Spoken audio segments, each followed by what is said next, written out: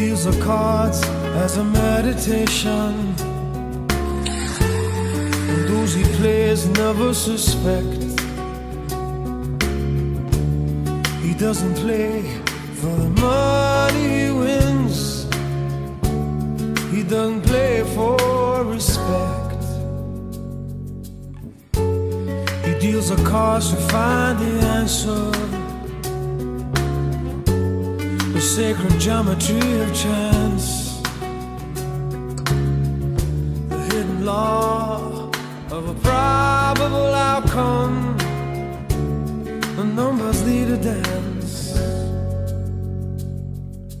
I know that the spades are the swords of a soldier.